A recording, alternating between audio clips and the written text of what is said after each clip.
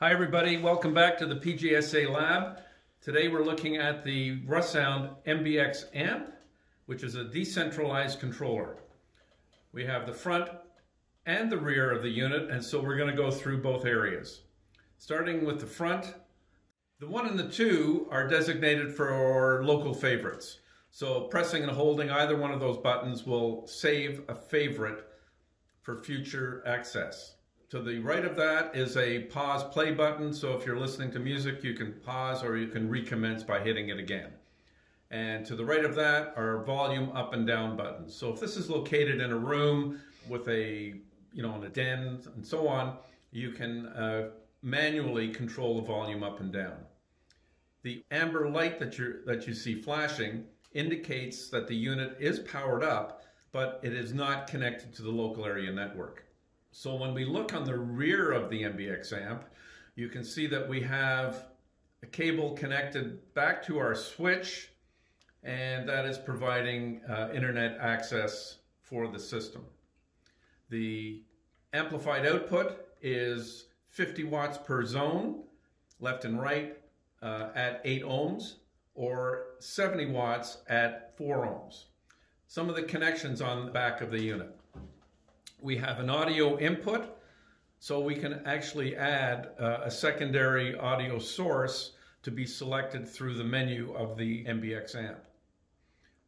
Underneath the Ethernet port is a USB port, and so we can plug in a USB thumb drive with music files on it, and similar to the audio in, we can access that USB thumb drive and play music files.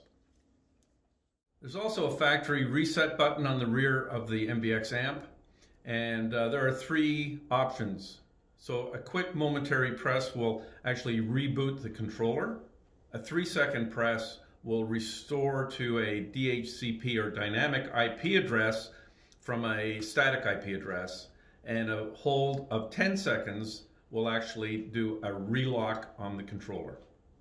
So now we're uh, booting up the, uh, the switch, and the switch is providing information through the local area network on the Ethernet, and you can see that the flashing amber has now turned green.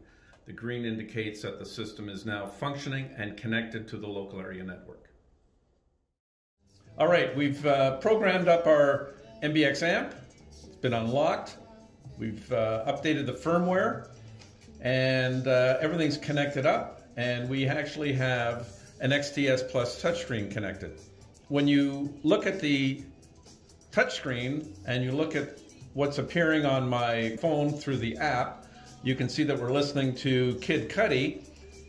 Everything that happens on my phone is replicated on the XTS touchscreen.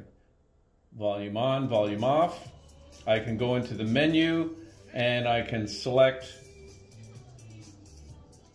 Beach House Radio, and you can see that it immediately changes over to Beach House Radio.